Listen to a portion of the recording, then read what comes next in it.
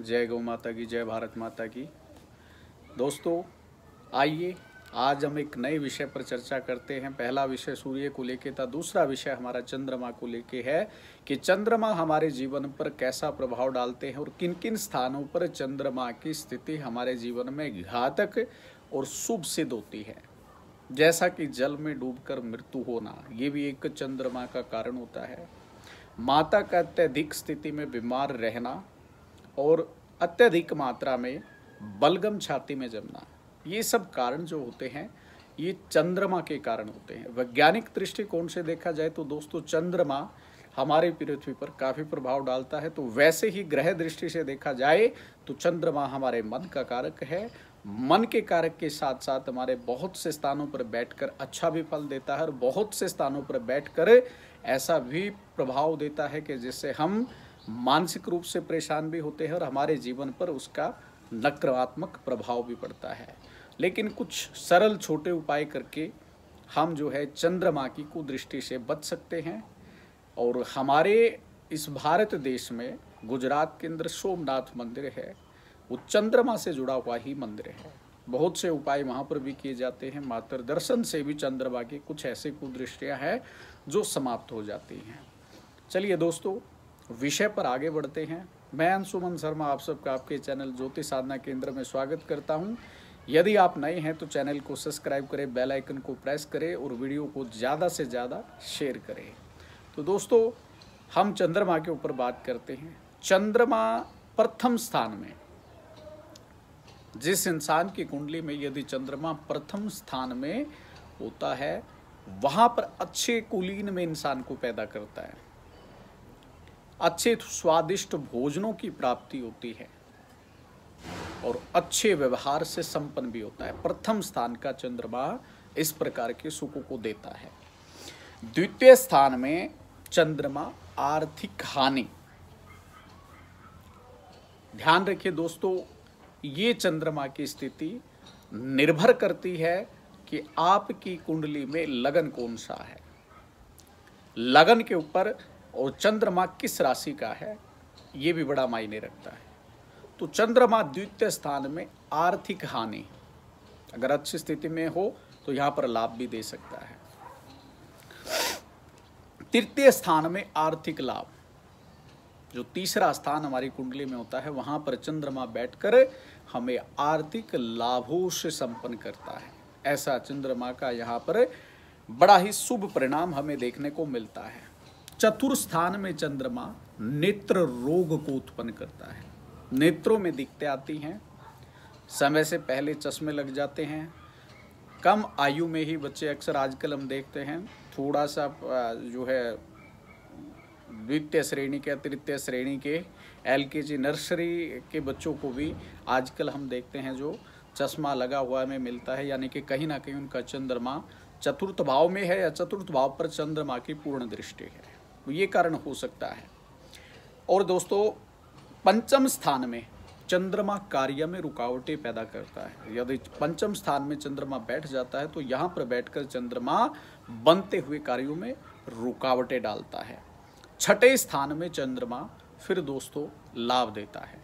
लाभ देने का कारण यहाँ पर ये स्थान जो है बुद्ध का है।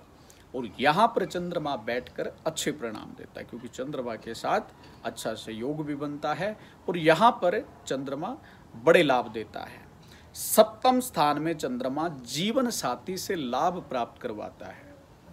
यदि सप्तम स्थान में आपकी कुंडली में चंद्रमा उपस्थित है तो आपकी धर्म पत्नी के माध्यम से ही आपको लाभ मिलने वाला है। हो सकता है उन्हें गवर्नमेंट जॉब मिले, हो सकता है उनके भाग्य से, आने से ही आपके जीवन में तरक्की आ जाए। और अष्टम स्थान में चंद्रमा फिर एक खतरनाक रूप धारण कर लेता है। यहाँ पर चंद्रमा की स्थिति मृत्यु तुल्य कष्ट देती है, क्योंकि यहाँ पर चंद्रमा नीचस्त राशि का हो जाता है और यहाँ पर चंद्रमा अक्सर जल से मृत्यु होती है। जैसा कि हमने भी पहले इस बारे में बात की थी तो चंद्रमा जब अष्टम स्थान में बैठ जाता है, कुछ लोगों की तो जिनका अल्पायु योग होता है। लगन में सूर्य का शत्रु बैठा हो तो अक्सर उनको अल्प आयु प्राप्त होती है। तो यहाँ पर चंद्रमा यदि बैठ जाता है तो कोई ऐसी दुर्घटना भी देखने को मिलती है। हमें आजकल हम गाँव में सुनते हैं कि कुछ बच्चे नहाने गए थे नहर पर, वो अक्सर उनकी मृत्यु हो गई है। कुछ हम माँ गंगा के द्वार पर भी स्थिति हमें देखने को मिलती है कि कुछ लोग माँ गंगा के पावन धाम गए थे, परंतु कुछ ज़्यादा ही समझदारी करने के कारण उनकी मृत्यु हो गई, क्योंकि गहरे जल में जाकर वो अक्सर जो है स्टंटबाजी करते हैं, जिनके कारण उनकी मृत्यु हो जाती है। कुछ जानबूझकर मृत्यु को प्राप्त करते हैं, जब पता है वहाँ जाकर हमें कष्ट होने वाला है, दिक्कत आने वाली है तो उस स्थान पे हमें नहीं जाना चाहिए, अर्थात गहरे जल में। कहते हैं दोस्तों, अक्सर डूबते वही है जो तैरना जानते हैं। ये बड़ों बड़ों ने जो बड़ी अच्छी बात कही है, क्योंकि बिना तैरने वाला तो स्थान पर जाएगा ही नहीं। तो अष्टम स्थान का चंद्रमा जो है, इस प्रकार से परेशानियाँ देता है। ये छोटी छोटी चीज़ें हम लोगों ने आपके लिए निकाली हैं। फिर यहाँ पर हम देखते हैं अगले नौवें स्थान में, चंद्रमा राज्य से भय अथवा हानि। राज्य से भय अथवा हानि प्राप्त होती है, यानी कि सरकार के द्वारा ऐसे इंसान को कहीं ना कहीं जो है नुकसान देखने को मिलता है, परेशानी देखने को मिलती है। और दसवें स्थान में यदि हम चंद्रमा की बात करें तो राज्य लाभ और सुख लाभ। दसवें स्थान में चंद्रमा फिर अच्छे फल देता है। यहाँ पर आकर चंद्रमा राज्य से लाभ और सुखों की प्राप्ति करवाता है और एकादश स्थान में आर्थिक लाभ की प्राप्ति भी करवाता है। एकादश अथवा ग्यारहवा स्थान। यहाँ पर तकरीबन सभी ग्रह अपना फल जो है मैक्सिमम एक ही अनुसार उनका कोई नीचे स्थान नहीं माना जाता। यहाँ पर सभी ग्रह जो तकरीबन शुभ फल देते तो यहाँ पर चंद्रमा भी जो है, अगर इस स्थान में आपका चंद्रमा बैठा हुआ है तो वो कहीं ना कहीं आपको लाभ ही प्राप्त कराएगा। द्वादश भाव में चंद्रमा नेत्र रोग धन हानि और मानसिक परेशानियाँ। अगर द्वादश स्थान में चंद्रमा बैठ जाता है तो अष्टम स्थान के जैसा ही चंद्रमा को यहाँ पर खतरनाक दृष्टिकोण से चंद्रमा को देखा जाता है। तो यहाँ का चंद्रमा अक्सर जो है मानसिक परेशानियाँ दिखते बहुत ज़्यादा देता है, बहुत ज़्यादा समस्याएँ पैदा करता है। अब दोस्तों, आगे हम चंद्रमा की साथ बात करने वाले कुछ ग्रहों के बैठने पर, जीवन में क्या उतार चढ़ाव आते हैं? क्योंकि बहुत कम ऐसा होता है कि कुछ लोगों की कुंडली में चंद्रमा उस स्थान पर अकेले बैठे हुए कोई और ग्रह नहीं बैठता। यदि कोई और ग्रह यदि चंद्रमा के साथ आपके उस स्थान पर बैठ जाता है तो किस प्रकार का फलादेश रहने वाला है? ये बड़ा ही हमने विश्लेषण करके आपके लिए जो है, ये चंद्रमा के शुभ और अशुभ प्रभाव को निकाला है, ताकि आपकी जानकारी और ज़्यादा बढ़ पाए। और किसी की जान बच पाए। क्योंकि समय पर अगर हमें अपनी कुंडली का ज्ञान हो जाता है तो हम इस प्रकार के कार्य नहीं करते जो कहीं ना कहीं हमारे जीवन में नुकसान को देने वाले हैं। कुछ लोग माता के फल माता के सुख से वंचित रह जाते हैं। अगर समय पर ज्ञान हो जाए तो चंद्रमा का उपाय करके माता को कष्ट नहीं मिलता है और आजीवन माता का सुख प्राप्त होता है। दोस्तों जिनके साथ माता पिता का सुख मिलता है अर्थात माता पिता की सेवा करने का जिनको सौभाग्य प्राप्त होता है, उनका कहीं ना कहीं चंद्रमा ऊंच का होता है, बहुत अच्छी स्थिति का होता है। और जिनका चंद्रमा अच्छा नहीं होता है, या तो जीवन बचपन में माता पिता की मृत्यु हो जाती है, या फिर कहीं ना कहीं ऐसी परिस्थितियाँ रह जाती है कि माता पिता एक दूसरे से दूर हो जाते हैं तो कहीं ना कहीं अच्छी पढ़ाई लिखाई होने के कारण बच्चा विदेश में चला जाता है तो उसको कहीं ना कहीं माँ का सुख जो है, माँ के साथ रहने का सौभाग्य प्राप्त नहीं हो पाता है। तो ये चंद्रमा के अच्छे न होने के कारण होते हैं, जिनका उपाय करके हम अपने कुंडली के चंद्रमा को अच्छा बना सकते हैं। लेकिन दोस्तों, विश्वास के साथ ही ये धरती टिकी हुई है। तो विश्वास करके यदि कोई कार्य करेंगे तो ही उसमें हमें सफलता मिलेगी। अब छठे घर में चंद्रमा आठ बारह छठे घर में, अर्थात छठा, आठवां और बारवां। इनमें सूर्य मंगल हो तो जातक को वात कफ। वात कप रोग के कारण नेत्र गवा देते हैं। अर्थात दोस्तों, देखिए, अंधा होने का कारण भी चंद्रमा से जुड़ा हुआ है। कुछ लोगों की हम स्थितियाँ देखते कि जीवन में जो है नेत्र खो देते हैं। पहले उनके नेत्र अच्छे थे, आँखों से देख सकते थे, पर कुछ ऐसी घटनाएँ उनके जीवन में घटती है जिस कारण वो अपने आँखों की रोशनी खो बैठते हैं। तो इसका भी कारण कहीं ना कहीं हमारी कुंडली से जुड़ा होता है। समय पर ये चंद्रमा से जुड़े उपाय करके हम लोग चंद्रमा के दुष्प्रभाव से बच सकते हैं। एक, दो छ आठ, अथवा बारह। बारहवें भाव में चंद्रमा के साथ मंगल व शनि हो तो केवल वात रोग के कारण ही अंधापन होता है। मान लीजिए कि किसी को अत्यधिक मात्रा में गैस बनती है तो ये इन ग्रहों के कारण बनती है और वो जो गैस बार बार जो नेत्रों पे ऊपर की तरफ़ उठती है, यदि कुछ लोगों को देखते हैं, हम बाजू में पेन मिलता है, पैरों में पेन मिलता है, कुछ के सिर में दर्द होता है। तो ये सिर में दर्द होने का कारण ये भी बड़ा हो सकता है आपकी कुंडली में कि कहीं ना कहीं आपकी कुंडली में वात रोग अत्यधिक मात्रा में बढ़ रहा है और वो कहीं ना कहीं कल आपके अंधे होने का कारण भी बन सकता है।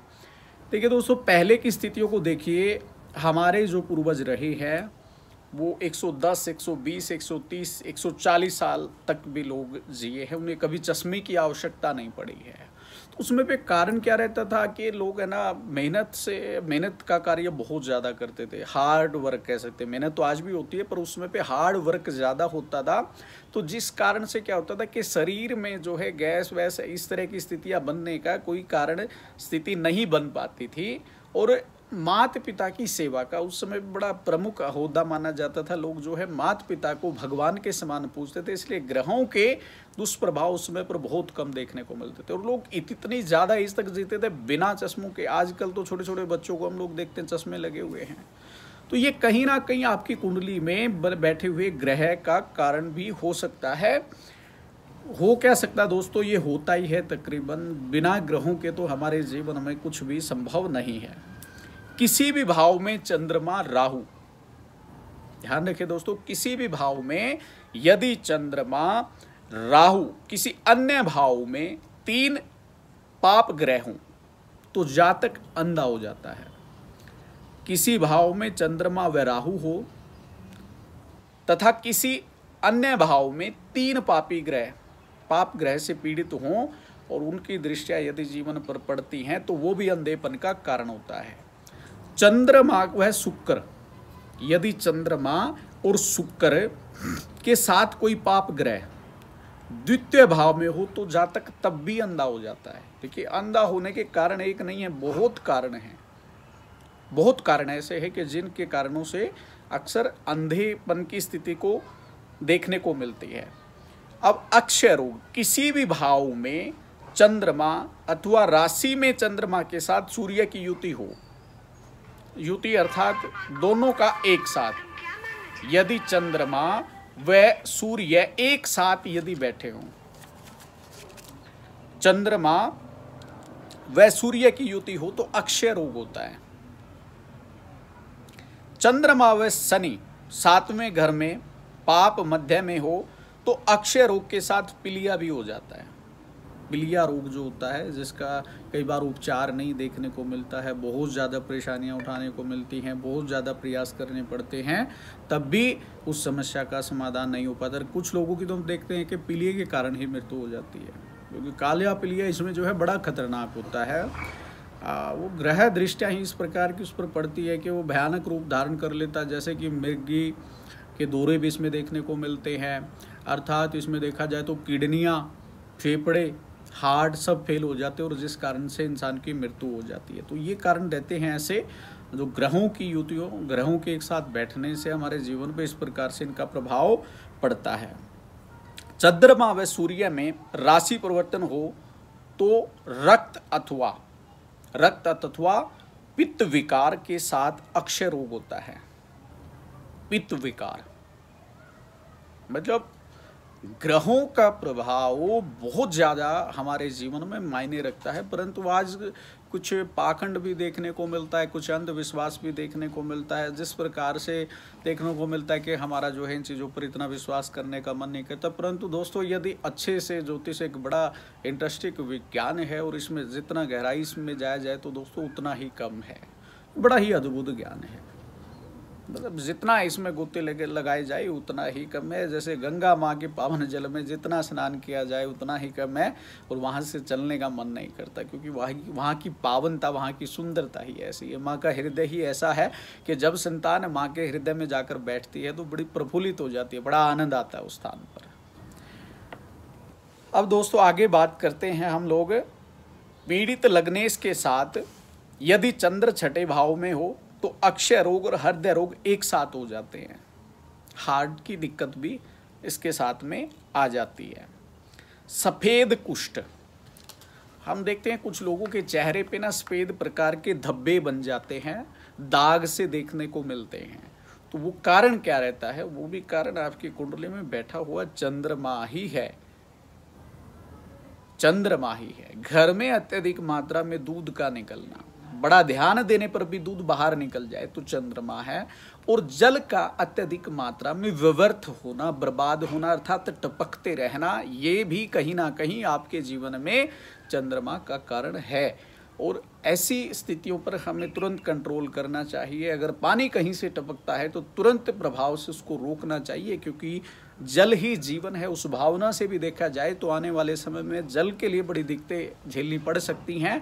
और यदि ग्रह दृष्टि के अनुसार भी देखा जाए, जिस घर में अत्यधिक मात्रा में जल बर्बाद होता है, उस घर के बच्चों का चंद्रमा अक्सर खराब देखने को मिलता है। और उस चंद्रमा के प्रभाव जो है आगे पूरा जीवन भर भुगतने पड़ते हैं तो समय पर रहते हुए स्थितियों को समझ लेना दोस्तों बहुत ज़्यादा आवश्यक है। प्रथम भाव में शुक्र, प्रथम भाव में शुक्र और छठे भाव में चंद्रमा। प्रथम भाव में शुक्र तथा छठे भाव में चंद्रमा होने पर मिर्गी भी देखने को मिलती है। मिर्गी का रोग, जैसे कहते थे ना मिर्गी का दौरा पड़ गया तो वो भी स्थितियाँ जो है ग्रहों के कारण ही देखने को जीवन में मिलती हैं। तो ऐसी स्थितियों पर तुरंत कंट्रोल किया जाए तो इन समस्याओं से छुटकारा भी पाया जा सकता है, वरना ये लंबे समय तक चलती है। शुक्र व चंद्रमा केंद्र में अथवा पापी ग्रह आठवें घर में हो तो यह रोग भी बड़े लंबे समय तक चलता है। बड़े लंबे समय तक परेशानियाँ जो है, इस प्रकार से झेलनी पड़ती हैं। चंद्रमा के पाप ग्रह की राशि अथवा युति हो तो यदि चंद्रमा के साथ शनि या कोई अन्य पाप ग्रह बैठ जाते तो दोस्तों, मानसिक रोग, मानसिक कष्ट बड़े झेलने पड़ते हैं, मानसिक परेशानियाँ बहुत ज़्यादा झेलनी पड़ती हैं और बहुत ज़्यादा परेशानियों के साथ ही जीवन निकल जाता है, परंतु सुख देखने को नहीं मिलता है। एक शख्स एक समस्या सॉरी क्षमा चाहता हूँ शब्दों के लिए, एक समस्या समाप्त होती है तो दूसरी समस्या निकट आ जाती है। ये कहीं ना कहीं आपके कुंडली में बैठा चंद्रमा ही इन्हीं का कारण है। तो समय रहते दोस्तों, यदि हम चंद्रमा का उपाय किया जाए, जैसे कि शिव पूजा, जहाँ पर कहते हैं शिव पूजा होती है, क्योंकि चंद्रमा जब शनि से टकराव हुआ था चंद्रमा का तो उस समय काफ़ी समय तक चंद्रमा को जो है गुजरात के मध्य में जो सोमनाथ मंदिर है, वहाँ पर भ्रमण करना पड़ा। तो फिर वहाँ पर उन्होंने सोमनाथ भगवान की स्थापना की थी, वहाँ पर पूजा अर्चना की थी और उन्होंने शनि के जो है, दुष्प्रभाव से छुटकारा पाया था, शरीर के रोगों से जो है, उन्होंने छुटकारा पाया था। तो दोस्तों, शिव पूजा बड़ी अहमियत रखती है और छोटी छोटी चीज़ों का हमें ध्यान रखना चाहिए। जल को अत्यधिक मात्रा में बर्बाद नहीं होना, होने देना चाहिए। शिव भगवान की पूजा करनी चाहिए। रात्रि में दूध नहीं पीना चाहिए। और यदि किसी का अष्टम भाव में चंद्रमा है तो मेरा मानना है कि उस घर में पानी की स्टोरेज नहीं होनी चाहिए। अर्थात टंकी नहीं होनी चाहिए। यदि अष्टम स्थान में चंद्रमा बैठा हुआ है तो यहाँ पर जो है चंद्रमा की स्थिति दोस्तों, बड़ी भयानक स्थितियाँ पैदा कर देती है। कई बार इतना ज़्यादा शरीर को कष्ट मिलता है कि हॉस्पिटल में एडमिट भी होना पड़ता है और अंत समय में जो है इंसान ना परिवार के पास होता है, हॉस्पिटल में उसे दम भी तोड़ना पड़ सकता है क्योंकि यदि चंद्रमा के उपाय न किया जाए। हम बहुत से ऐसे लोग है भी ऐसे जिन्होंने चंद्रमा के अष्टम स्थान में होने के कारण जो है अपना जीवन उनको त्यागना पड़ा, अर्थात या किसी दुर्घटना में बड़े लंबे समय तक हॉस्पिटल में एडमिट रहकर उनकी मृत्यु हुई है। तो दोस्तों, ये छोटी छोटी जानकारियाँ होती हैं, यदि हम इनका समय पर पालन कर लें।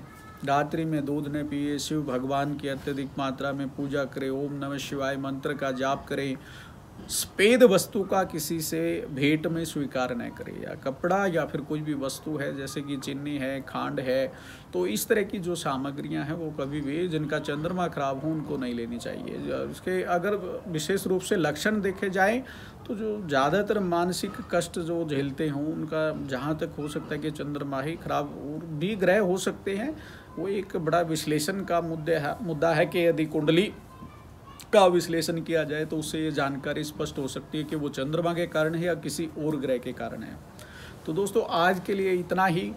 तो यदि आप सब में किसी का भी चंद्रमा खराब है तो घर में जल की बर्बादी को बंद करें, भगवान शिव की शरण में चले जाएँ और महाकाल से कामना याचना करें कि प्रभु आपकी शरण में आया हूँ, आप संसार के रचयता है, महाकालेश्वर हैं, अद्भुत हैं, ये संसार पूरा आपसे चलता है। महादेव, आप मुझे अपनी शरण में लीजिए और मुझे इन ग्रहों के क्रूर प्रभाव से मुक्त कीजिए। तो यदि इस प्रकार की कोई अच्छी याचना, अच्छी कामना करके चंद्रमा की शरण में जाते हैं तो दोस्तों बहुत जल्दी ही जो है चंद्रमा के कोई और भी ग्रह की यदि क्रूर दृष्टि आपके जीवन पर है तो वो समाप्त हो जाएगी।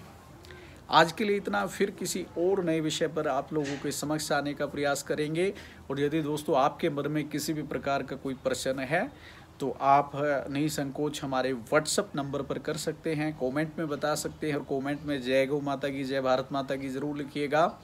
यदि आप कुछ जानना चाहते, कुछ धर्म से जुड़ा हुआ, हमें बड़ी खुशी होगी कि आपकी तरफ़ से कुछ प्रश्न हो और उसका आंसर हमें खोजने का, अर्थात हमारे हृदय में है तो उसको बांटने का हमें सौभाग्य प्राप्त हो। कृपा आप अपने मन में कुछ हमें क्वेश्चन मिले भी हैं और बहुत जल्दी हम उन आंसरों के ऊपर भी वीडियो बनाएँगे।